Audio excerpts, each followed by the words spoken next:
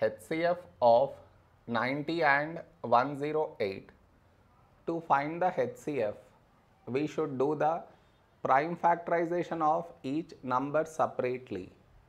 What I mean is, see, 90 here, 108 here. This is your step 1. Next. In this number, last digit 0, so take 2. First number 9. A number close to 9 in 2 table is 2 fours 8. 9 minus 8, 1, 1 carried forward 10. When do we get 10 in 2 table? 2 fives 10. Now, last digit 5 not even. So, this number is not divisible by 2. Next prime number 3. To check divisibility by 3, for that we should add the digits. 4 plus 5, we get 9. Is 9 divisible by 3? Yes. So, this number also divisible by 3. So, take 3. First number 4. A number close to 4 in 3 table is 3 ones 3.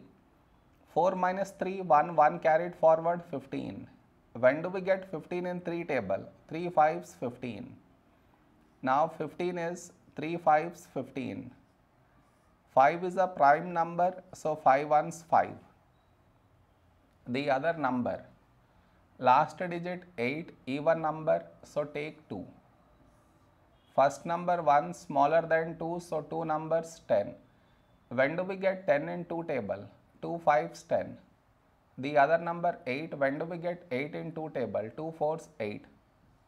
Last digit 4 even, so take 2. First number 5, a number close to 5 in 2 table is 2 twos 4. 5 minus 4, 1, 1 carried forward 14. When do we get 14 in 2 table? 2 sevens 14. Now 27 is 3 nines 27. 9 is 3 threes 9. 3 is a prime number, so 3 ones 3. Therefore, our HCF is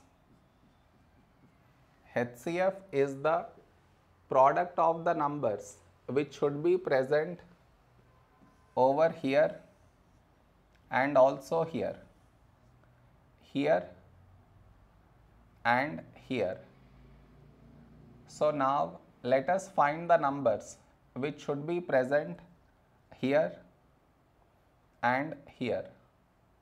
Starting with the number 2. Do we have 2 here? Yes. So cut 2 right here. Next number 3. Do we have 3 here? Yes. So cut 3 right here. Next number 3. Do we have 3 here? Yes. So cut 3 right here. Next number 5. Do we have 5 here? No. No more numbers have been left out.